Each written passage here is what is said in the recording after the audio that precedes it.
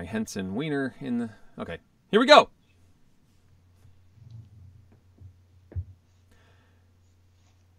Dice Tower Tonight, episode 56.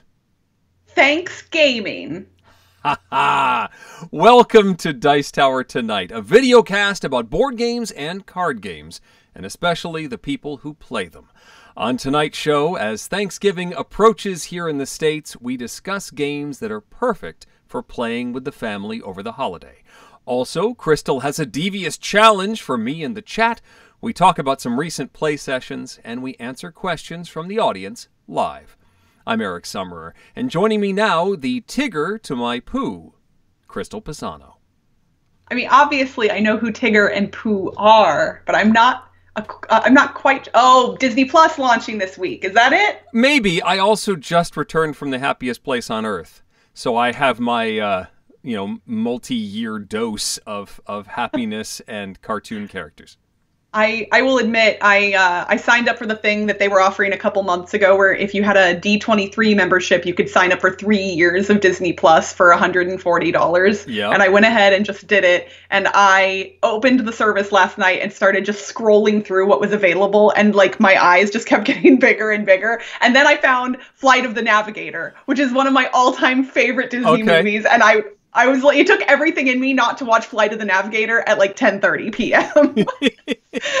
Yeah, Flight of the Navigator is is one I think I've seen. Gummy Bears, I've seen a lot of people just jumping into the Gummy Bears series. Also, The Rocketeer seems to be very popular as a I haven't first seen that selection. since I was very young. The music for The Rocketeer is still one of my favorites. That is some great music. I'm excited to to dive back into a lot of the things that I watched when I was younger that like I may not have wanted to seek out, but now that it's just kind of there, I'm gonna rewatch some of it. Yeah, I have not uh, subscribed to Disney Plus. I've been waiting. I know that deal, I guess, came and went, um, and and it's probably too late to try and get that. But uh, we we already have so much television that we're not watching. I don't feel like subscribing to a new service that I will also not watch. So I yeah. I think the thing that somebody else was telling me that I honestly I, I haven't done the math to figure out whether it would be a better deal, but I believe and nobody quote me on this, but you can like Hulu and Disney are partnered up and you can pay like a little bit more per month and get Hulu and Disney Plus and maybe even like ESPN because they're also part of the same overarching thing yeah. And I it, whatever the cost was, it I think it was like only twelve ninety nine, and you get multiple of the services. And I was like, that feels pretty much like that feels like a decent deal if you're looking to have all of those. if services. you want all of them and I, I think i was not interested in the espn part of all of that so it was less of a good deal to only get hulu and disney plus anyway yeah.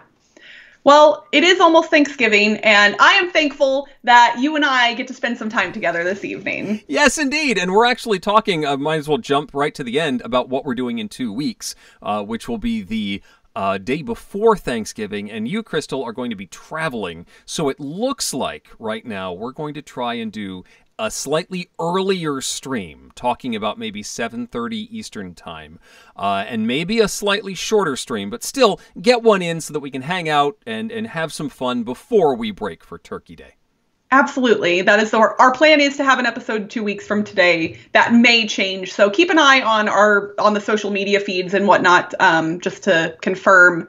Um, but yeah, I, I have a flight at 7:50 p.m. that evening, so I'll have to be at the airport uh, that evening earlier than I we would normally be able to get me there based on this stream. And uh, Rainer in the chat is saying that I don't like fun sports. I love fun sports. I'm just not sure ESPN shows enough curling. I was gonna say taste. like what fun sports like curling or Yes. yeah anything that's obscure. Absolutely. So, yes, this is a board gaming show and not a discussion of the latest uh, streaming Disney services. Um, as much as I would love to talk about all the latest rides that I rode uh, at Universal and Disney over the past week, we should probably talk about some games we've been playing lately. Crystal, why don't you go first? Absolutely. So I've I've actually I got to play quite a few games this weekend. Um, I had friends, a couple friends come over on Saturday night, and then I had a different friend come over on Sunday. So I got to play a bunch of games, uh, some of which were new to me, some of which were not. Um, but before I talk about what I did play, I wanted to mention something that came in the mail, and that is the Wingspan expansion, which Whoa. I am so excited about. I have not had a chance to play it yet. Um, but I am hoping, well, I'm definitely bringing it to my normal meetup tomorrow night um, and hoping to get it played then um, because I have to show you all the purple eggs. Look how purple they are. I love them so much. Those are those are great. I want them. I want yeah, them now. they're delightful. And what's great is there's me and two other people in my game group all choose purple as a player color normally, but in Wingspan the eggs aren't for players. Everybody can have purple eggs and it'll be great. So uh, haven't played it yet, but expect a report back on this one very soon from me because I love Wingspan. so, So, have you tried fitting it in the base box yet? no, I have not. And from what I heard, you can't. Or it, I, I believe that it's not possible based on the current layout of the box. Although I would not be surprised if one of the third party people does come up with a way to do it. Uh, but I think because of the Birdhouse Dice to- Tower and the big card, like plastic box that's in the base game, I don't think you'd be able to fit this new card box in there in any way, like unless you just didn't use it. Because, yeah, well, I don't know if I can pull it out. But you can see underneath here there's a, a purple card box that's similar to the one in the base game So there is. Um, and it's it's not tiny but it takes up almost the size of this box so um, yeah so i'm not i am guessing that from what i've heard that it will not be able to fit in the base box um, and honestly like normally that would annoy me but i love this game so much that i kind of don't care okay. So something that I did play this weekend, which is technically not new to me, but it's only the second time I've gotten to play it. Uh, last year on the Dice Tower cruise, or actually the night before the cruise departed, we had a pre-departure party where people got to play games and hang out um, in advance of the cruise leaving. And one of the games that I played at that party was Architects of the West Kingdom, which Ah. at that point was still very, very new. It had not, I don't even think it had gotten a full release in the States at that point. Um, and I had not played any of the games in this line of games uh, from Renegade at that point. This was my first. Um, and then I acquired it recently and finally got it back to the table this weekend. So, Architects of the West Kingdom is published by Renegade Games in uh, technically 2018, but I didn't. I don't think it got wide distribution here in the states until 2019. Um, and it is a worker placement game that is unique because unlike most worker placement games where you start off with usually a smaller number of workers and sometimes have to do things to acquire more workers in this game you start with all 20 workers that you have and you can place them pretty much anywhere you want. There are a few constraints. The workers are uh, you can have up to five players so there's five different player colors. Um, the, they're not the normal meeple shape they're a little bit skinnier and a little bit well i guess maybe the same height um, but uh, every player gets a player board and they get 20 of their meeples. And I will try to show you all the board, but it is big and very foldy. so we're Very gonna, foldy. yeah, like there's lots of folds. It's not a like, see, it's six panels. Okay, it's a six panel. Here. I'm in here. um, so, um, there are lots of spots that you can place your workers, and basically, oh, and it's upside down. I didn't even notice. Whoop. Let's do it the right way up. This is professional. Perfect. Uh, Um, you, so you're collecting resources, you're collecting um, people that have special abilities, and you're building buildings that will also give you special abilities. As far as like theme goes in this game, we're, we're not talking anything super unique here, but what is unique is you have the ability to capture other people's workers from the board and put them onto your own player board and kind of have them in a little I like to call it like a sheriff's office, like a little like county jail, and then you can actually gain money by sending them to prison, which the prison is a section of the board itself.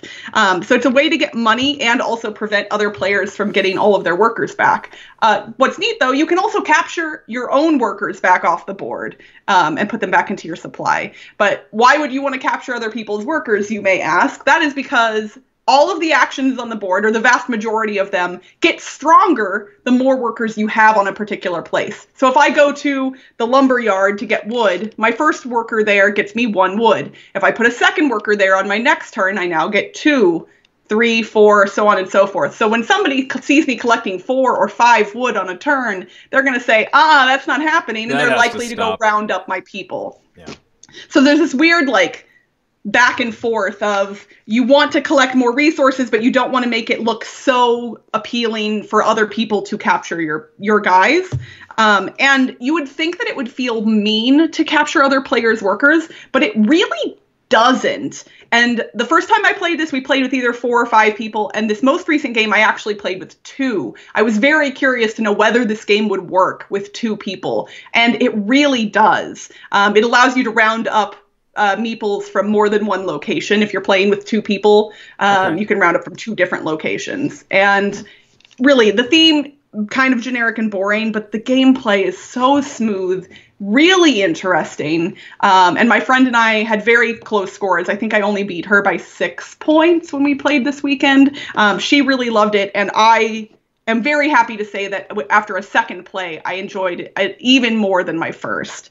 Um, I have not gotten to play Paladins of the West Kingdom yet, which is the kind of sequel to this game, I guess. Um, and I'm very curious to try that one out as well. Um, but for me, Architects of the West Kingdom from Renegade, as far as worker placement games go, is a big win. I love worker placement games in general. It's one of my favorite genres of games uh, lately, and this one is probably near the top of my list for those. I uh, got to play this at the um, at the retreat for the first time, and and really enjoyed it as well. I think the system is very strong, and that that um, the concept of it's almost a push your luck sort of thing. Of do you continue to put workers on a particular space, and and get that stronger and stronger action. There's some uh, resources that you can only get. I think it's gold that you can only get once you have more than one person on the space, and uh, and so you have to sort of push your luck a little bit in order to get those valuable resources. But that's also a huge red flag, like a flashing light that says, "Someone come and arrest my people." Um, which you then, and then there's this um, this system where if you have the most guys in jail, uh, you're Oh, going yeah. to get some negative points um, when when scoring happens, and and so then you're looking at the table and saying, all right, am I can I let it go for one more turn and leave those guys in jail, or do I need to clear the jail? And break my guys out so that I'm no longer getting the big negatives when when we hit scoring. Um, so timing is a really big part of this game. Um, I, uh, I this was on the prize table at the retreat, and I was almost going to get it, but I actually got Wingspan instead. So Oh, nice. it's a theme. But I, I enjoyed Yeah. it as well. I have not played Paladins either. I yeah, no, I really like this one. I think for people who enjoy worker placement as a mechanism, that this is a must try.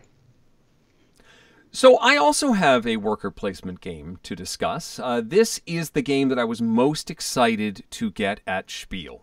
Um, this is the one that I, I ran to, and Mandy and Suzanne ran to, and several other people that I recognized were in line as well to pick up Expedition to Newdale. This is from Lookout Games. Where's the, the logo there? Lookout. Um, this is from Alexander Pfister. It is in the Oh My Goods universe. Have you played Oh My Goods, Crystal? I have not. I know of Oh My Goods, but I haven't played it. Oh My Goods is a small little card game that's a sort of a resource management uh, engine building game. And one of the aspects of of uh, Oh My Goods is this sort of push your luck resource collection. You you draw a bunch of cards until you get two sun symbols, and that is the the morning. And so you may have one or two cards, you may have eight cards, and that that's the beginning of what you know is available for a particular turn and you may be able to use those resources to do stuff to build things to trigger some of the buildings that you already have in front of you and you sort of then position your worker to maybe uh, utilize all that stuff. And then there's a second half of the draw. You draw more cards until another two symbols come out. And that could again be a whole bunch of cards. It could be one or two cards. and then you're forced to use those resources. And if you don't get what you want you're you might be in trouble and have to pay extra or not get anything that turn. It can be sort of nasty. Expedition to newdale is the board game version of oh my goods. Let me reach down for a second and grab some stuff. So you've got your player color with a bunch of uh, you got workers that are if i can find them that are numbered they have one, two, three, and 4. You start out with 1 and 2. You can later acquire 3 and 4. Um, and then you've got a bunch of houses that you're going to place on this map. And this map has far fewer. This is not as foldy, Crystal. As, not as foldy. uh, use the, the, correct technical terminology, yes. obviously. Um, the reason that it's not as foldy is because uh, for each, this is scenario based. Um, so a particular scenario may use this map. It may also use the C map that is on the other side, or even I think there's a second map in here that I'm just now not able to dig out right now, um, with totally different locations on them. But at least in your first game, you've got a map. Everybody's going to start out in Longsdale, and they're going to sort of spread out from there and place their houses in locations around the board. Um, you also have your action board. And you've got you start out with one, I think it's a coal mine in the blue the blue slot here. As you get more cards, you're going to put them in these slots as well. And you can place workers in those slots that say, uh, I'm going to produce, let me look at the blue one here. I will produce two of this good if I'm missing one of the workers I need. But if I get one more worker than what I need, I will produce three of that good. If I get two more of the workers that I need, I will produce four of that good. And this is all based on this random draw, kind of like the Oh My Goods thing, but you get this event card at the beginning of a round that gives some sort of parameter for the round, but also on the wrong side here, gives you which workers are already on the board. So I already know I have one red, two green, two yellow, but zero blue. And then, so then I, I assign my workers. So I can maybe plan a little bit. Maybe I have the workers I need, maybe I don't. And I place my, my cylinders all over the place. Um, not only am I placing them on this board, but also on this communal board that everybody can place on. And then we draw from the bag more of those workers and they're in the different colors and so I might I'm going to pull I think four of them. And so I've got oh, looks like one blue, one green, one yellow, one red. And that is in addition to the ones that are pre-printed on the card. Now I see can I activate the buildings that I put my worker on or did I push my luck a little too hard and not get to produce anything? I would then have to discard cards in order to make up the difference, that sort of thing. I'm also using those communal action spaces to build houses on the board, to buy more workers, to upgrade certain actions. Um, but I like I like this this draw from the bag. It's just a little more even because I know the distribution of the meeples in here. And I know right off the bat that this event card has a certain number of meeples on it. And this is pre-printed and predetermined for the scenario. So I know at least the first half of the draw, this part, is even and distributed well. What comes out of the bag? Eh, who knows? It could be all yellows for all I know. But at least I know this has been spread a little better. Um, and this is not a quick game. Oh My Goods can be played relatively quickly. This one's got a little more meat to it, but I really like it. Um, it's solid. I and I like that that resource draw. Um, it has a lot of the same engine building. You've got one good that can then transform into another, and you can create this cool chain. And when you manage to get that to work, it feels really satisfying.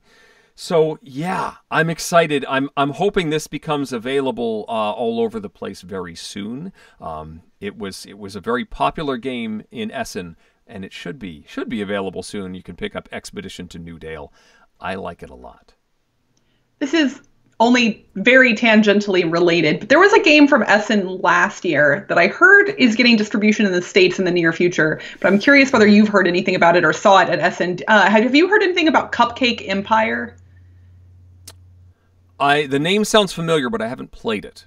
So I played it at BGG Con last year. It had Okay. just come out at Essen, and I I swear I heard that it was it's getting being brought to the states. But I really really enjoyed it, and so I'm kind of hoping that's the case. Maybe somebody in the chat will have heard more about that one, but I, I feel like I saw it.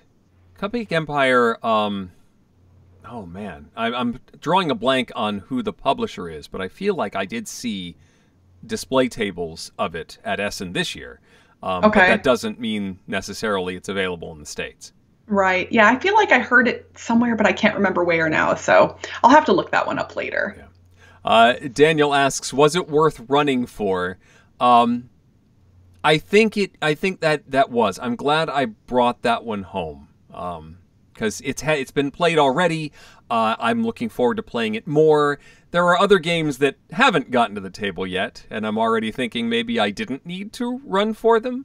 Um, but again, it's been busy the last couple of weeks, and I haven't gotten to play as much as I'd like. But yes, Newdale, I'm glad I ran for. Wonderful. Um, so usually this is something that I say at the end of the episode, but I'm going to try saying it in the middle and see if it makes a difference. Uh, anyone that's watching right now, I know that you all are the best. You're the most wonderful viewers we could ever ask for. Uh, if you are enjoying Dice Tower tonight on a regular basis, if you could click the little thumbs up button below the video, I would really, really, really appreciate it because it helps with the YouTube algorithms. And I normally say this at the end, but sometimes I forget. So now that I've remembered, I'm just asking you to do it now. And I might mention it again at the end, just in case somebody comes in late. But Indeed. Renee mentions an interesting point that I wanted to bring up as well. Also in the Oh My Goods universe is a little game called Tybor the Builder or Tybor the Baumeister, um, which is also a decent little card game. Uh, not quite the same as Oh My Goods, but also a neat resource management sort of thing and worth checking out. Very cool. All right. Well, I think it's time for a Thanksgiving themed trivia game. What do you think, Eric? Uh, w- yes, absolutely. I can't escape now, so um, Uh, I am doing audience. something unlike anything that we've ever done before. And it is not going to be you against the chat. Um, but, chat, I'm going to tell you that you all get to keep your own score. And um, if you basically, if you if you get the correct answer before Eric gets the correct answer out loud, because obviously there is a delay and all of that jazz, um, I'm say give yourself a point. So you're looking for a total of five points maximum because there's going to be five, and I'm going to have to share my screen, which means I have to move some stuff around because Skype is Okay. being weird like it always is. so we're gonna. So let me let me set this up for you briefly before I pull up the materials that I'm going to be showing you and start sharing my screen. I came up with a question, and that question was what would happen if the characters in some of our favorite board games were celebrating Thanksgiving? What would that look like? Okay. What would that mean? all and right. most specifically, what would they be texting to each other if, in fact, they were celebrating Thanksgiving?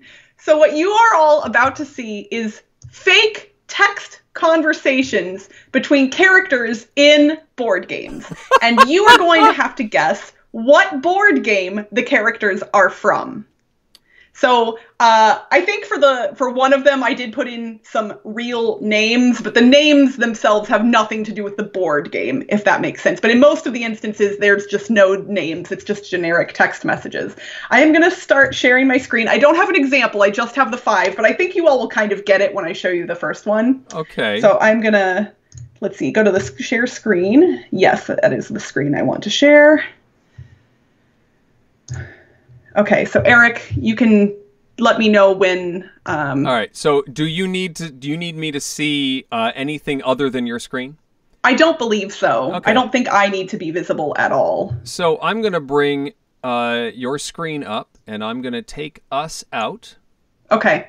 So now we're just looking at your screen. I'm actually gonna. Ah, we'll leave our little graphics up on the screen as well. Why not? Okay. I like our little Um, cartoon characters. And for the record, chat, I do believe this game is going to be pretty easy. I did not try and make this super difficult, um, but that is because it is a concept I've never tried before, and so I wanted to see if I could even do it. So, um, so my screen is good to go.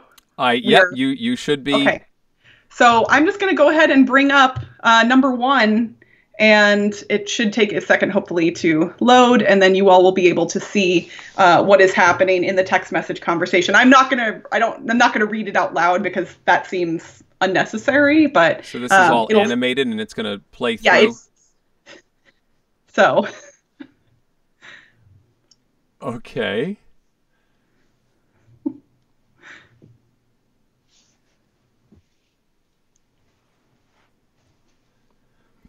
So if at any point, Eric, I mean, if you want, you can probably wait till the end, I guess, to guess, but.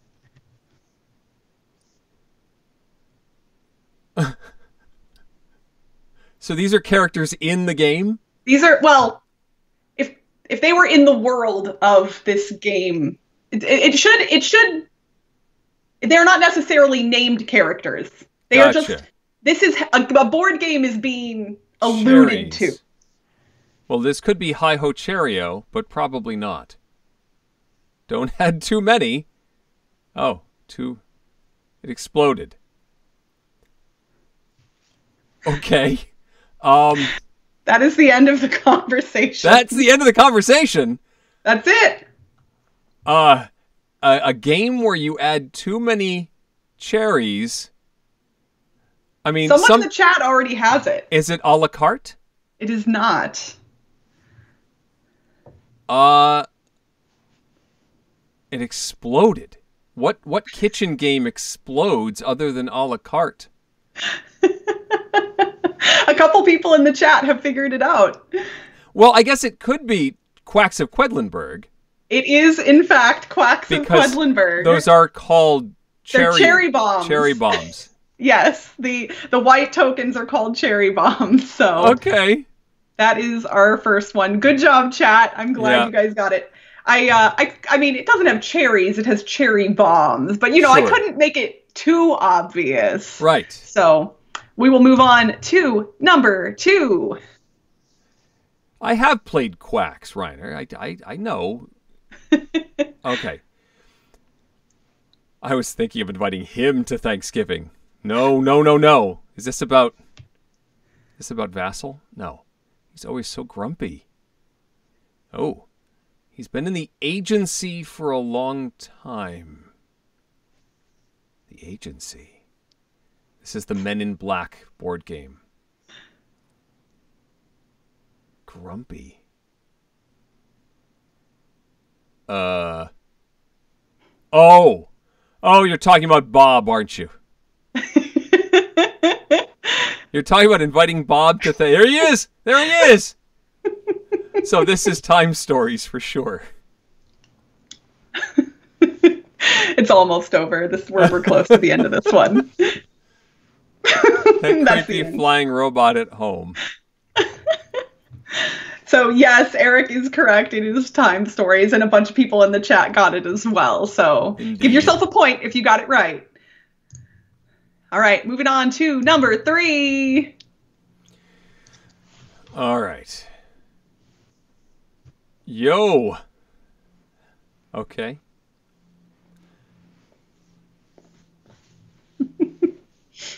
Fine, boring. Okay. The trip. The trip. What games? Out making deliveries.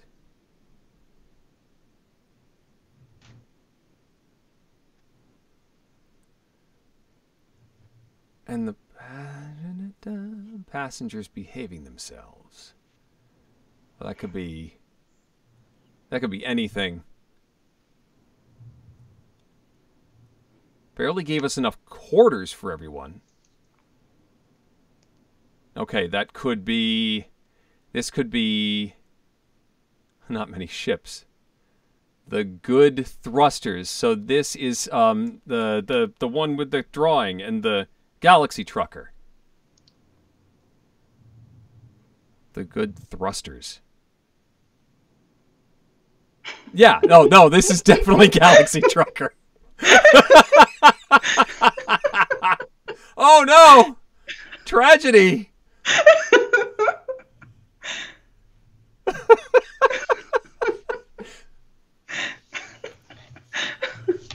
Half the ship is just gone. This happens every time. Face palm. So, Yes, Eric, you are correct. It is Galaxy Trucker.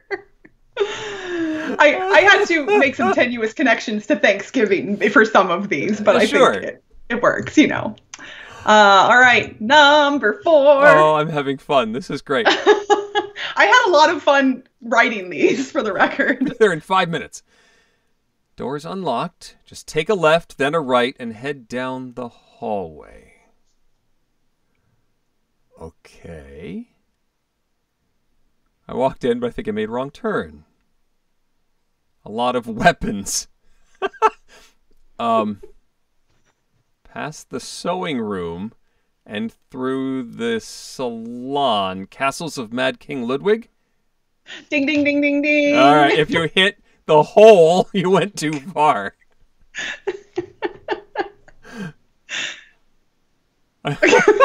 That's the end of that one. No mention of the grotto, though. And I mean, I there's only so many rooms that I can mention without making it way too obvious. But I, I thought the hole was probably notable enough. So yes, that is Castles of Mad King Ludwig that Yep. we were looking for there. Uh, so good job on that one. Uh, I didn't see any answers in the chat, but that might be because you were really quick with that one. I was. So, They're, they're still. Um, they're still discussing Oh. how dark the uh, Galaxy Trucker turned out. oh. I mean, at least the, the the captain was still alive. So you know, there's that. Oh, it could have been Um, betrayal of, at House on the Hill. That oh, they said between two castles has too long of a name for them to type it out. So, Yep. well, let's see. For my number five, um, well, yeah, well, I'll, I'll have you wait until the end to guess on this one, Eric. So Okay. that way they can they So- can definitely get their guesses. No, in. no guessing. Okay. Yeah. What's everyone bringing for the Thanksgiving potluck? Was that an intentional misspelling at the beginning? Oh no, there's lots of those. You've just missed all of them so far because it actually recorded me typing this stuff. Gotcha.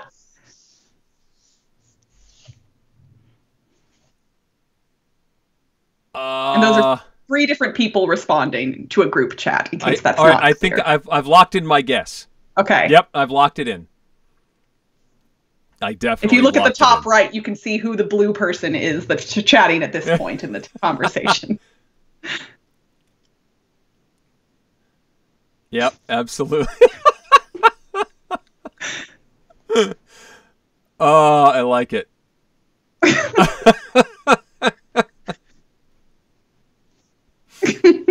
yep. Okay, so Chat ch- the chat is it. putting their guesses. Eric, what is it? I, it was definitely Sheriff of Nottingham. Yeah. It is Sheriff of Nottingham. And yeah, it scrolled by really quickly. I wonder if I can here go back and show you. So Z is the first blue message that pops up. Uh huh. I can make it scroll here. There it goes. So then Sam is the second one. Nice. And then, of course, Tom is the one that's lying about what he's bringing. I had to add the in pie form, of course, because just bringing apples to Thanksgiving didn't seem right. Yep. Oh, okay. So that is the end of my All ridiculous right. experiment of if board game text message conversations involved Thanksgiving. Um, hopefully, you all enjoyed that. Um, I did. That was great. I'm going to stop sharing my screen, or do you need to switch stuff over I've first? I've switched. Uh, you can do whatever you need to do. Okay. Uh, stop sharing. So it should be to me again. Yeah. Or just Um, only you. There's nothing but you now. Oh, well, that's so fancy. uh, so yeah, uh, chat. If you all liked that game, let me know. Um, I think that that is something that I could probably do in the future. Obviously, it wouldn't be Thanksgiving themed, but text message conversations from board game characters. Um, I could do that again if that is something you all like. Obviously, we like to do games that you all enjoy, um, and we. I try not to repeat the same games too frequently, but um, please let me know if that's something you'd like to see again. Um, but yeah, let's head into our main discussion for today. Yes, this was your idea, Crystal. Uh, as we're getting closer to the the Thanksgiving holiday, and uh, this one certainly works for me because uh, it's been a tradition in my family to do a game day right after Thanksgiving. Um, in fact, one of my wife's first encounters with my extended family was at a post Thanksgiving game day. We just threw her to the sharks. Here you go. Here's the the family, and uh, and and we're all gonna play games now. Um, and we wanted to talk about what games work well in that situation and, and what games don't always work well when you throw it out in front of the family. Yeah, and I think so something so you and Tom on the podcast this week, which if people haven't heard yet, they should definitely go listen to. Um, you mentioned that you kind of have for introductory games this gauge that you use, and that is whether you think your mother-in-law could easily get a hold of the game or like play learn it and understand it right right i mean and and the the the sort of textbook example is that Ticket to Ride is often thrown out as you know the ultimate gateway game, um, and for her that's too complex. And my gauge for introductory game that works for my mother-in-law is Transamerica. It's got a simpler gameplay, uh, simpler route building, and it also uses the same sequence multiple times. Like you, you know, you've got your five cities, and you are competing to try and connect all five of them. You only have one piece, one type of piece that you're placing on the board, and as soon as somebody connects their five, everybody else determines how close they were to doing the same. They get those negative points. You reset the board and do it again.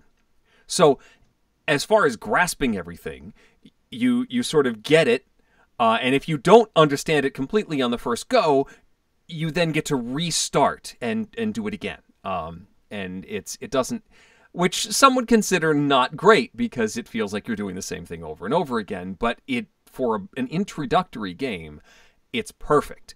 Um, and I played this with her, and she had a little trouble the first time understanding what happened. But then once she saw how it played out, she's like, "Oh, okay, now I get it. Well, let's go and do it again. Here we go."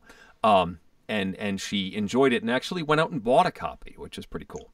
That is awesome. And I know that Tom poo pooed your pick here. And for the record, I have nothing against Ticket to Ride. Think it is great. But I would agree, I like Transamerica, and I do think it is a little bit more approachable. Um, for this list, though, like for me, so I do think there is a lot of crossover between gateway games or introductory games and games that would be good at a holiday gathering but I don't think that the the two circles are you know complete overlap. I think yeah. that there is so, there are some games that are good gateway games that would not be good at a holiday gathering, and I think that there are games that would be good at a holiday gathering that I wouldn't actually use to introduce people to the hobby proper.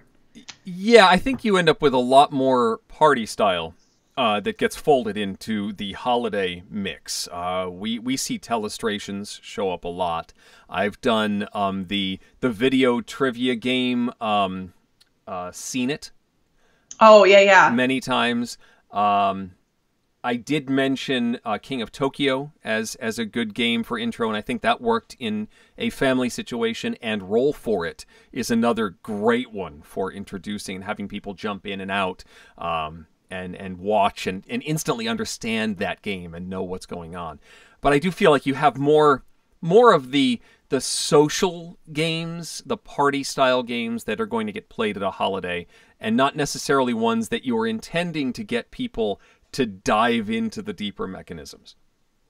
Right. I think I think we as gamers sometimes choose games for introductory purposes that we think will a not just be approachable but will pique people's interest in learning more about board games. Like something in them we're hoping will spark something. But for me when i bring games to a holiday gathering if somebody decides to start digging into board games after the fact, that's all well and good, but that's not usually what I'm trying to do. I'm honestly trying to kind of just entertain the group in some fashion. And since I love playing board games, they tend to be the source of entertainment that I enjoy the most. So, yeah, like some party style games, I think are ones that I bring out. But there are other games that I bring out too. Um, my my mom and my dad both really liked uh, Rumble in the Dungeon which is a pretty simple game from Yellow. And I don't think I think that like it's simple enough that I don't think I would usually use that as an introductory game. It is it's not bad. I own it. I like it,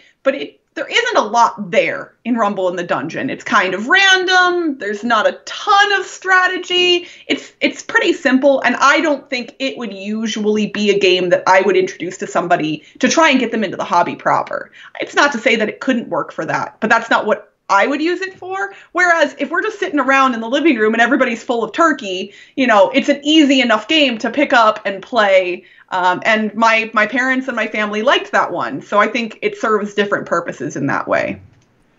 Yes, uh, I think quick playtime is important here too because it's uh, like after everybody's sitting around having eaten turkey. Uh, or, or snacking, getting up and socializing. You don't want something that you're going to be stuck at the table for a significant amount of time. You want something that you can jump in, play around, jump out, um, go get some more turkey. or, or snacks or, or a drink or whatever, um, and and so these these quicker games. Chat has gone by with with really light stuff like Bunko and LCR, um, oh which, yeah I don't know if I, w- I would not recommend, but this is the sort you want to go maybe one more level beyond that and not too much farther. Liar's Dice is a good one. Um, oh yeah, you can get through a round of that. I mean, your perennial favorite Strike, I think, is perfect for this. I bring it with me yeah. every time, and my sister really loves Strike. She's excited when I bring that one out. Which reminds um, me, how's your travel version coming together? I I haven't done anything with it. So when we started renovating the house in August, all of my board games kind of got moved and shuffled around and put in random places. And anything that isn't a game I'm playing regularly at this point is shoved in a closet or in the loft. And everything is everywhere still. And it has been like three months. And I just, I don't want to talk about it. No, it's fine. I just, we've, like, I mean, we had the renovation stuff and then the water heater blew and then our dog tore her ACL. Uh. And it's just been, a, a very stressful fall, and organizing my board game collection has not been at the top of my priority list. And it doesn't help that, as I've discussed on this show before, I'm kind of in that mode where I want to cull my collection. So it doesn't make sense for me to organize it if, in fact, I'm going to get rid of things. But I've been kind of procrastinating the getting rid of things. so it's just sitting around. Hopefully, some people in the chat can sympathize. I I'm, I mean, I am a busy person, but I'm also a procrastinator when it comes to tasks that I don't enjoy. And organizing things is one of my least favorite things to do. So yeah. if somebody wants to come over to my house and organize and help me figure out what I want to sell, that would be lovely because it's not happening currently. Oh, I, Hoping I hear in the you. near future. Yeah, yeah, yeah. absolutely. uh, before we leave Strike, uh, I got to play uh, with Dave Luza uh, while I was in Germany. Uh, I, I got to have dinner with Dave and Ilka, and they have built a strike arena out of Lego bricks. What? Which is not only it, it's not quite an oval; it's it's more square, but it includes ramps and other obstacles inside the arena, so the dice do more weird bouncy stuff. And I thought that was really cool. That is amazing. And I am I can't believe I didn't know about this already. And if I don't know if Dave watches this show, whether live or later. Well, obviously not live because it's late there. But like Dave, if you watch this, have you posted videos and pictures and I just missed it? If not, please, I want to see this. It was the first I'd ever seen of it. But anyway, back to holiday gaming. so I actually made a list of five points of consideration that I think for me personally are things that are kind of rules or guidelines for how I would choose a game to bring to a holiday f- gathering with family. Okay. Um, so my quick list is that the game should have few rules and be easy to teach, have a relatively quick playtime, which you already mentioned, potentially allow people to drop in or out of the game entirely if people are helping cook or preparing things and need to kind of come and go i think that that can be beneficial not necessarily required mm-hmm. um, not be less enjoyable if it has to be paused. I think that's an important point as well. There's going to be potentially a lot of like hubbub and things going on. And some games, if you pause and come back to them, I think you kind of lose the momentum. And other games are very easy to pause and come back to. And I think that that is also helpful. And then number five, work for people of a variety of ages. I think at holiday gatherings, you often have people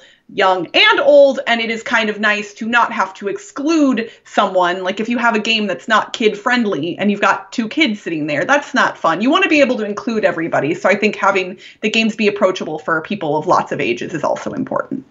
Absolutely. Um, and and you know you i think a great category that has become very prevalent lately and does fit many of these categories is the roll and write uh, genre. Although we as gamers tend to be looking for the deeper roll and writes, the fleet, the dice games, uh, and the cartographers.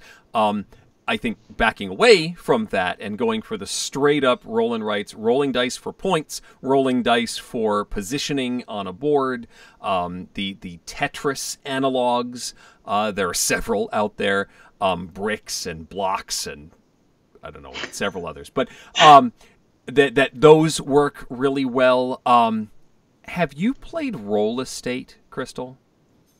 No, I haven't, and I really, really want to. I haven't played it yet. So I, Chris actually sent me a copy of it back before it was Roll Estate. Like he sent me one of the early versions of it, and I feel mm-hmm. so bad. I never had a chance to print it out and play it, and I really want to buy it from Print and Play Arena and give it a shot now. Um, hang on a second. Uh, okay. You you talk amongst yourself. I'll be right back. so hi chat. This is where we get to talk about Eric and say whatever we want. And no, just Oh, I'm having a really lovely time tonight. I always have a lovely time hanging out with Eric and you all here in the chat, but tonight just seems especially lovely. So I'm gonna I'm gonna chalk that up. Woo! He's got it. Here it is. Okay, so uh, Roll Estate is from Chris Michaud. Uh, also known as Moderator Chris from Flip the Table. Uh, it's available as a download from P and P Arcade, Print and Play Arcade. Um, you, you simply buy it. I think it's three dollars. Yeah, three dollars. You, you, get the PDF file and you can print out as much as you want. So you get you get the rules and nice little illustrations there, and and then you get the print and play sheets. So Roll Estate is a roll and write game. Uh, it's played. It, it is designed to be a combination of Monopoly and Yahtzee and it, it sort of is is kind to both of those games. Um, you have five dice, and on your turn, you're going to roll them, and you get two re-rolls, just like the classic Yahtzee mechanism. Um, and the you you've got many of them that are uh, the the basic pip values. So you've got a, a, row for threes, a row for fours, a row for fives, etc. Um, and when you score those, uh, so if I, I ended up with a good number of fives, I, I want to score fives. I will total up all of those fives, but I can, there's like three spaces for fives. I can place my score in any of those spaces. So if I get three of the fives, that's worth 15. I could put that in the first slot, the second slot, or the third slot. The point is that I have to build uh, eventually in sequence. So if I use the middle slot, the one next to it has to be higher and the one below it has to be lower. But based on where I place that first flag, that could be easy or difficult. Who knows? Um, and if you're the first to complete one of those rows, you get bonuses. Um, you get bonuses for straights. Um, there's some neat little mechanisms for the railroads for getting the straights. Um, and and stuff that if you get it faster than your opponents, you will get the points and they will not. Uh, so there's a little bit of a race there, a little bit of push your luck there. Um, I really enjoy that one, and this one is coming out at my next family gathering. Um, and for three dollars, I mean, seriously. I mean, you can't beat that. you can't. I mean, you do have to provide your own dice, but who doesn't have five dice sitting around? I honestly would be I would bet money that everybody in the chat right now owns five dice. I'm reasonably certain. Anyway, that's. I mean, the packaging isn't much to sneeze at, but you know, you can put you can make the box no, as fancy as you want. Yeah, that's really neat. Um, and I think you brought up a, a good point about roll and write games in general. I actually had a couple kind of written down. Uh, Rolling America or Rolling Japan, I think, is a really good introductory roll and write game that's pretty simple. It's you're literally just writing numbers in squares and making sure that the numbers next to that number are either one above or one below or the same number. So it's really that one's really easy to grasp. And uh, someone in the chat mentioned Qwixx. Oh, Kabuki Kid mentioned Qwixx, and that's also on my list. Um, and I have both the regular Qwixx, which is in a tiny box, so it's easier for travel, and Qwixx Deluxe, which is in the bigger box with the big chunky dice. Which, if I'm not traveling, that's the one that I break out because I love rolling those big chunky dice. Very cool. Uh, Farkle is one uh, dice game that, that my folks have enjoyed um, as, as another easy entry, quick to learn, uh, just jump right in sort of game. Um, so yeah, I, I have a few other games that I kind of wrote down as ones that I've used before at these types of events. I think a newer one for me that I'm going to start bringing always is Just One, and you and I obviously love that. We've played it yes. here a lot, but just one is it, it, works in just about every situation, and that is just kind of really neat. Um, another one that I think works well with families is Drop It. Um, yes. I think a lot of dexterity games fit into this space, but Drop It specifically looks really cool sitting on a table. So I think it has that like, even if somebody's like, oh yeah, no, I don't want to play games, then when they see you playing it, it's yeah. one of those ones that they kind of, you know, start moving over and they're like, hey, uh, what, we, what, what is that thing that you got there? What is that about? It, it almost has that Plinko feel. Like, I want to drop the discs. I want to do and that. And everybody always has those same moments where like, oh yeah, this is perfect, and then you drop it and it goes everywhere but where you thought it was going to, and it, it's just brilliant. I really, really like drop it. Um, uh, I also think the potion is a really good one, and I don't think it gets talked about a lot. Um, it is from the same publisher as Bermuda Pirates, Fox Mind Games, hmm. um, and it literally comes in a little plastic like it looks like a pill bottle and it has little plastic tokens in it um, and you're everybody starts with a set number of tokens in their hand um, and then you roll dice and reveal tokens based on what dice got rolled and the first to get rid of all their tokens or get down to a certain amount of tokens will win. So a tabletop is not, is barely necessary because all you're doing is rolling a couple dice every turn, but all the other components are in the player's hands and they're all made of plastic, so there's no risk of like getting damaged by food or drink. Um, so I think that that's really important, and yeah, it just comes in a little bottle. So I I think that's an underrated one that is really good for casual things like this. Uh, I'm trying to think of um, a couple of the sales style games have worked very well, but wait, there's more and oh, yeah, snake yeah. oil worked really well with my family and uh, you know the silly games often are, are oh, yeah. easy I think to jump into and fun employed would probably fit in that same space yep well, uh, Chad has been throwing out a few other uh, examples there, which I think you all have some great ones in there. Dixit, um, Cube, I, which I played with my grandparents growing up, so I, I have a very soft spot for Rummikub in my heart. I heard you now you your grandparents had a like a custom box, correct? That your sister yes. stole out from under so, you.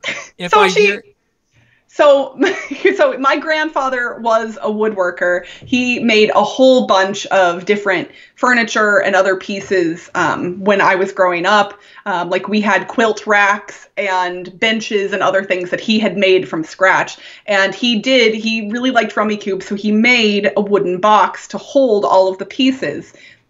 I was under the impression that he just made this because they owned the game, they liked the game, we played it with them. My sister says that he made it for her.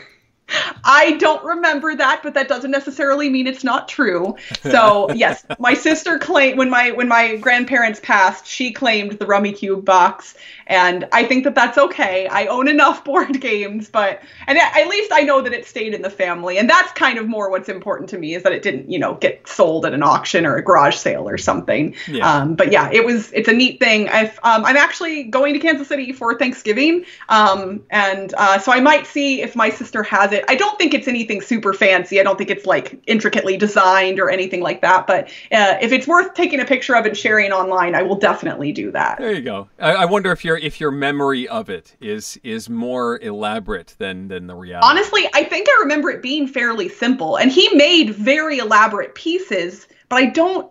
I, I think I don't I can't really picture it because it's been I mean probably 20 years since the last time I saw it, if I could really remember correctly. Um, and my memory from 20 years ago, not so good. So.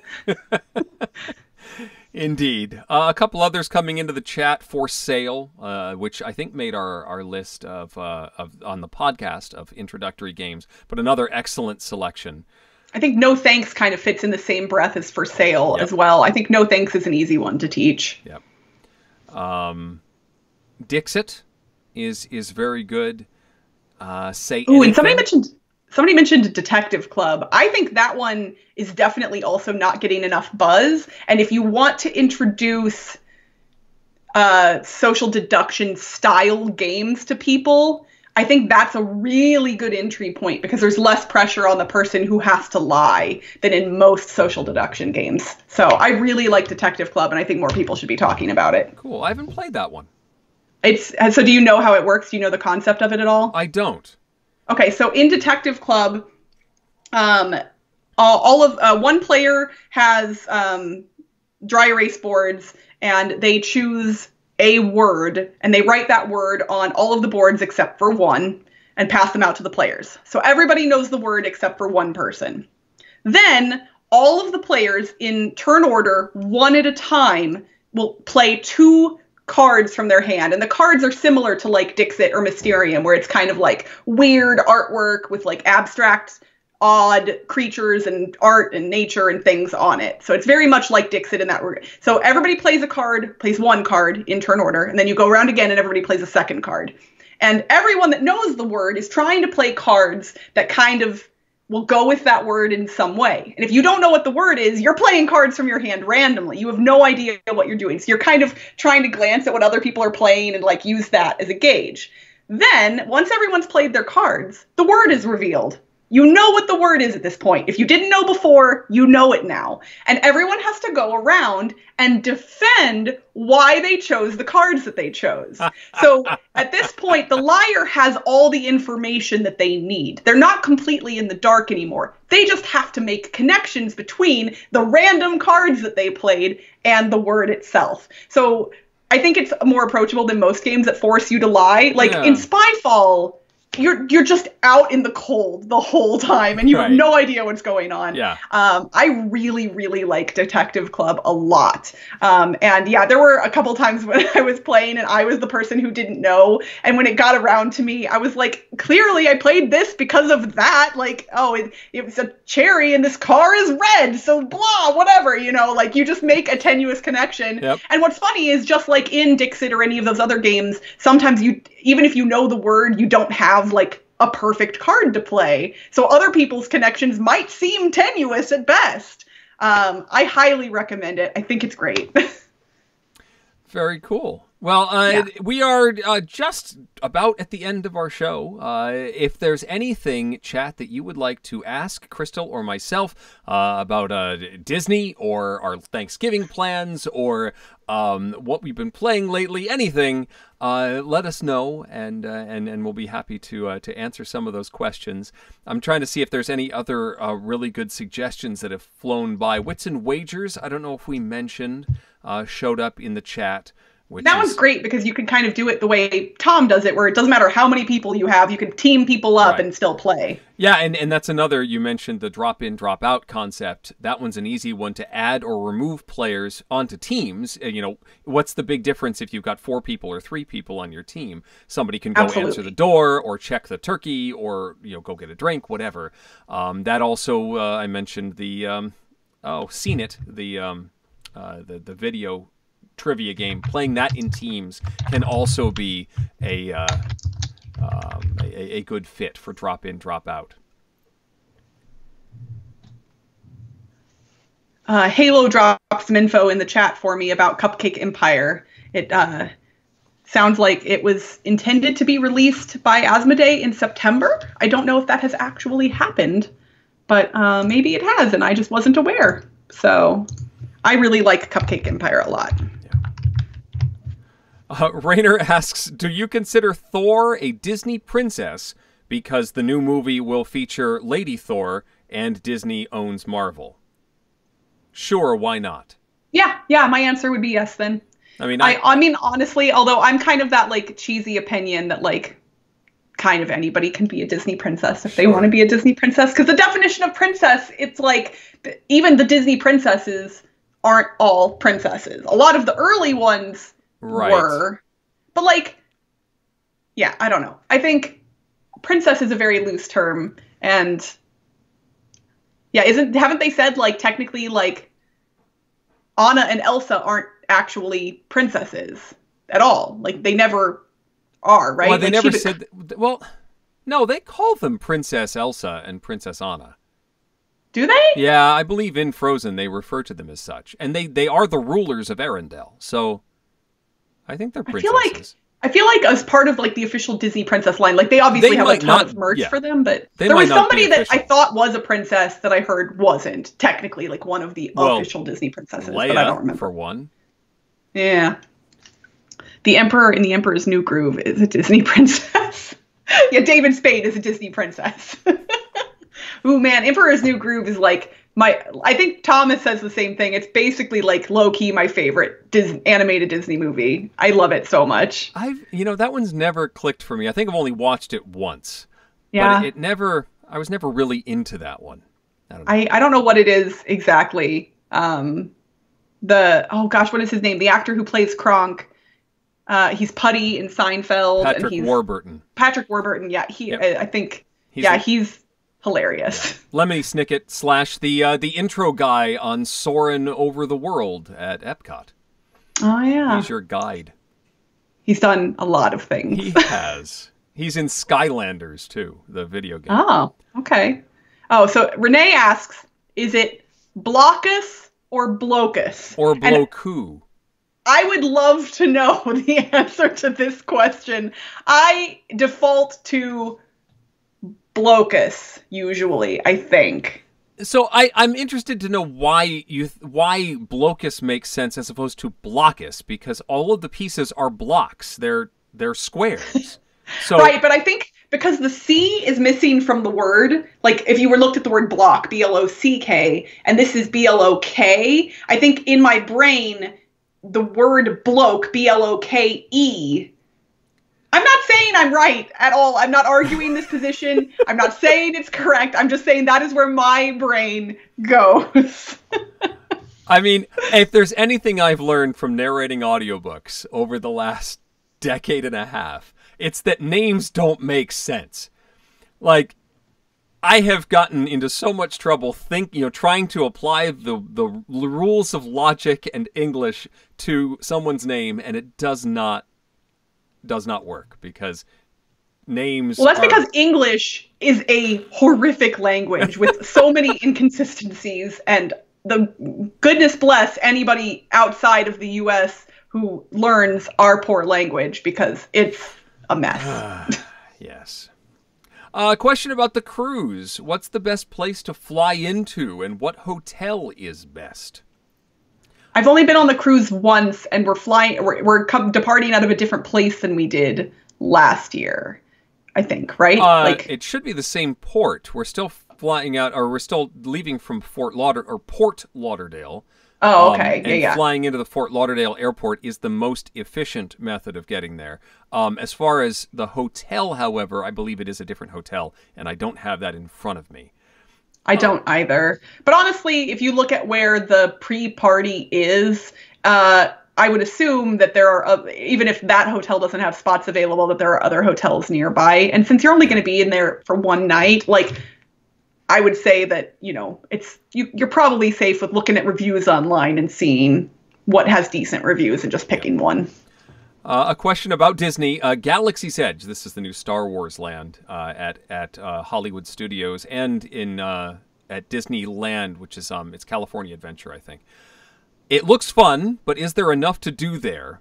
It's new, so maybe you should give it time to build up more. Yes, if you have not already made plans to go to Galaxy's Edge, I would wait at least a month or two for the second attraction to open. So there were two big rides that were supposed to be opening um, originally supposed to be opening right away, and then they said nope, not not all of them are going to be open. So right now there's just a Millennium Falcon ride, which is really cool. You you basically enter the Falcon, you hang out in the lounge with that holographic chess set, and then they send you into a room where you do a motion simulator thing, and you have a job. Some of them are pilots, and some of you are gunners, and some of you are engineers, and you fly through this very interactive adventure there's that that's open now, but the Rise of the Resistance, which is supposed to be this amazing new attraction, is not yet open and is planning to open in December. Maybe. Um, I Man, the wait, holidays are already busy around Disney, so that's going to be a circus. wait for them both to be open and for them to work the bugs out. Say, you know, at least midway through next year, and and wait for the crowds to die down a little bit. It's um, So yeah. We had talked about in advance of your trip that you were kind of curious how your son, who is not keen on Star Wars, was going to take to all of that. So how did that go? Yeah, um, I mean, my elder son is 11, and while he grumbled in a good natured way, he really didn't resist that much. I mean, he's like, I don't really want to do this thing. Why do we need to do this? I'm like, we're going to do this. It's the brand new ride. We're going to do it. He's like, fine. Here we go. And he got on the Falcon and he performed his duty and, you know, he, he did the ride. Um, and he sort of grumbled about it as we're walking through, but you can ignore the theme and just look, it's like Spaceland. You know, it, it's, it's this cool, um, well themed world. I had wacky food. One of the restaurants I ate at was really tasty in uh, in Galaxy's Edge. I had a great salad there. You know, who knew? Um, and so he did fine. Uh, the younger one decided he didn't want to ride anything at Universal. Like anything. And so we learned about the child swap room next to all of the rides. There is this like a little lounge that one parent can wait with the child while the other one rides, and then you swap and stay with the non riding child. And his brother got to ride everything twice because both his mother and I wanted to ride everything. Um, and so he got to ride. He went went through the line once, got to ride twice, and the younger child didn't ride anything. Um, it worked out. It was just a little frustrating, and I I think in a year or two he's going to be very disappointed that he didn't ride as much as he probably could have. I'm sure there were plenty of rides that were too intense for him, but he bailed on some rides that would have been fine. So I'm a little I'm a little a disappointed. Bummer. Yeah. Yeah. Um, Daniel in the chat asked me if I ever did the Star Trek experience when it was in Vegas. And it's funny because I, for the record, I am not I, while I prefer Star Trek over Star Wars, that does not diminish my love of the Star Wars universe as it is. And I'm very excited about Galaxy's Edge, and I'm going to do all of that stuff. But I will admit, it makes me a tiny bit sad because Star Trek did this 20 years ago and they did it really well. And as people describe Galaxy's Edge, I'm like, that's what the Star Trek experience was. I only got to go once. So I moved to Las Vegas the summer of 2008, and the Star Trek experience closed at the end of that summer. Uh, I went once by myself. I didn't have any friends in town yet, so I didn't have anybody to go with. And I will say that I was legitimately terrified of the actors who were dressed as Borg. it was like, I know you're a man in a suit, but they did an amazing job with the costuming and the ambiance and the rides and just really the experience of it. And what's really neat for those of you who come to Dice Tower West, the hotel where Dice Tower West is located, it has changed ownership a few times in the 11 years since then. Um, but if you look at some of the architectural things in the casino and hotel, you will see bits and pieces of the Star Trek experience yeah. still there, like the like the uh, entrance to the gift shop and a few other things. You'll be like, that looks weirdly spacey, yeah. and you won't necessarily know why, and it's yep. because it used to be part of the experience, and I miss it so much. And I have tweeted at CBS multiple times to tell them that they should bring it back because Star Trek's getting a beautiful resurgence yeah. right now. There's going to be five new Trek shows, and like this is the time. Yeah. Or if not there, I mean, why haven't we seen a, uh, a, a theme park? You know, Disney or Universal could pick up this franchise and and run with it and put in all new rides and experiences and, and, I mean it would it wouldn't be in Vegas but it would be it would exist which would be cool. Did you know that did you see there's a side room in the hotel um, that people walked into it at Dice Tower West and started taking pictures and stuff that still has the theming on the on the walls and stuff. Um, it, they use it for like conferences and and things. Oh it's, no! It's but it still has the stuff on the walls. Um, Bonacore snuck in and started taking pictures. Um, of course he did. Yeah, yeah.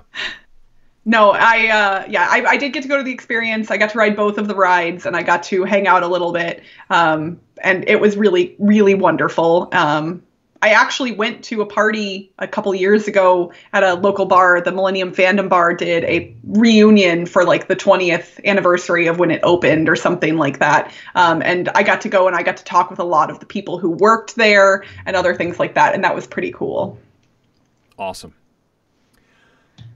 Oh, well, everybody's uh, chatting about uh, their favorite theme park rides and how some enjoy the bench ride where you don't ride anything. So I, I sat on the bench ride for a while. Um, And I also, I've been riding that one more and more the older I yeah. get, and I love amusement park rides. But yeah, occasionally I'm like, yeah, let's let's take a break between the rides. Yeah, I, I will say that the new Hagrid motorbike ride at Universal Studios is really cool. So that's um, that's the roller coaster that has spoilers, right? It is. Yep and um, I, no, no, spoilers, but it's pretty darn no cool. I play. I okay. did it at night, uh, so riding through the Forbidden Forest at night is is pretty solid as far as an experience right. goes. I'm I'm I'm thinking about trying to add on days to my Dice Tower Con trip to do the parks again, but oh, my poor vacation days at work, I, I, just don't have enough of them for all of this it's stuff. hard. Plus, it's really hot in the parks in the middle of July. Um, it definitely but is. I, I know I know Mandy did it uh, and and went on the Hagrid ride. Uh, did a day in in Universal. Um, but yeah, I didn't think we were going to do it. The ride had broken down for a good portion of that day and managed to get on at the very end of the day. Um, but I thought I was going to come home without getting to ride it. Okay. Um, uh, we'll, we'll, we'll ask, answer one last question here. William asks if either of us are going to be at the gaming marathon, and we are not. No. I would love so, to. Um, it's just yes, it's hard oh. to make that journey for one day. I guess it, it's actually two days with the way that the timing works out. But yeah, that would be um, it would be fun. I got to participate in one a few years ago, and it was a blast. But it's it's tough to make the trip for one day. Yeah, if I were to fly across the country, participate in a 24 hour long marathon, even if I wasn't in all of the 24 hours, it's still that's a very physically and mentally taxing thing to do. Yeah. Um, not to mention the fact that I really just don't have the time off to take to do it, but I would love to. If I could poof myself to Florida, yes. like if I if Star Trek transporters existed, yep. stuff like that would be so much easier. But unfortunately, it's too too difficult for me to do regularly. But we've got the uh, the we've I've got PAX Unplugged coming up here in just yes. a few weeks. And I actually, we just announced um, uh, moderator Chris from Flip the Table and Flip Flory from Flip Flory's Super Saturday board game serial and I are doing a breakfast meetup uh, at PAX Unplugged. We are it is not affiliated with PAX in any way, shape, or form. Um, but yeah, we're doing an 8 a.m. breakfast meetup. Um, and if people want to attend that, uh, head over to the Twitter account for my podcast, Board Game Blitz, um, and you can find out the information and how to RSVP for that if you're going to be at PAX Unplugged and want to come to breakfast. It's going to be a lot of fun. Um, and I know 8 a.m a.m. is early, but honestly, I think breakfast meetups should be a thing, even though my brain's going to think it's five o'clock in the morning at that time. I I would love to join you. I'm not sure. Uh, I don't know what my schedule is yet because uh, we've got booth duty and stuff like that, and that might it might overlap. I'm not sure. Yeah, at some point, Tom asked if I was coming to PAX in like, or he asked everybody in the Dice Tower chat if I if they were coming, and I said yes, and I haven't heard anything since. So I'm assuming I have nothing to do for the Dice Tower. So I don't know. We will see. I mean, I'm paying my own way, so. Yes. All right. Well, uh, chat before you go, do me one last favor. If you didn't check the little thumbs up button before, please do it now. Um, again, helps with those YouTube algorithms. And honestly, it just makes us happy because we like to see that you all are enjoying the show. And also, I have never asked you to do this before, but I'm going to. If you liked tonight's episode, share it with someone. Post it on your Facebook or your Twitter or your Instagram or text somebody about it. Um, click that little share button below the video and uh, send it over to somebody that you think might enjoy it. Um, we do this. Uh, uh, show every two weeks on Wednesday evenings, normally at 6 p.m. Pacific, 9 p.m. Eastern. Our next episode, which will be on November 27th, maybe at a different time. Um, so keep an eye out on social media for that. Um, but yeah, we really appreciate you all joining us. We hope you had a good time with us tonight. Uh, until next time, I'm Crystal Pisano. I'm Eric Summerer. And you've been watching Dice Tower Tonight. Thanks for watching. Promotional consideration has been provided by game publishers in the form of review copies of games. Crystal and I will see you in two weeks for another installment. Our show is supported by viewers like you. Thanks. Dice Tower Tonight is produced by Crystal and me with assistance from Tom Vasel, Chris Barr, Roy Kennedy, and Rob Searing. Our protests against certain German philosophers provided by Kant Stop. Timothy Pinkham composed our theme, and hosting is provided by Cool Stuff Inc., where you can find great games at great prices at coolstuffinc.com. Give us your feedback on the Dice Tower Guild at Board Game Geek on Facebook or Twitter, or by emailing us at dicetower at gmail.com. And don't forget to visit the other shows in the Dice Tower Network. Find something new at dicetowernetwork.com. Until next time, from all of us at the Dice Tower, have, Have fun, fun gaming. gaming. So, did I tell you I got uh, I got recognized at the Magic Kingdom, Crystal? I, I, I don't I think you you might have been told this story on the podcast, but in case people didn't listen to the podcast, you should tell it again. Uh, I, I think I may have mentioned it on Facebook, so not everybody saw this. But I, Oh, okay. I was I was in the restroom, uh, washing my hands, having done what is necessary in the room, and and there's a guy that notices my shirt. I'm wearing a Dice Tower Cruise shirt, and he's like, "Oh, dude, you you went on the Dice Tower Cruise?" And I said, "Oh yeah." And he said, "Oh man, that sounds really great. I've always wanted to go." I said, "Well, you you should go. It's awesome." And he sort of gives me a look, and then he goes, "Nah." I said, "What?" And he says, "What? Do you work with them somehow?" And I said, "Well, yeah, I actually do work with the podcast." He's like, "Holy cow, you're Eric Summerer!" Can, can I take your picture? I said, "Can we leave the bathroom first? And and yes, uh, and and so then my wife and kids are waiting outside the bathroom, and and like they were not prepared for a, an encounter where someone wanted to take my picture. They're like ready to go on the haunted mansion ride, and I'm like, oh no, we we need I, this guy wants to take my picture, and my wife is like, why, why would, what?